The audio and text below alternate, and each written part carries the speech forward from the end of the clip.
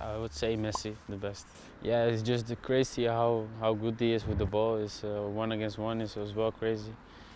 But uh, yeah, honestly, he's the best. Uh, I think so. I think everyone knows that uh, how crazy he can football. So I don't know what what to say. But the thing what impressed me is as well when you go and duel with him, it's almost impossible. You you take it from him because his, his strength his strength is really good. But nobody knows that a little bit. I think so.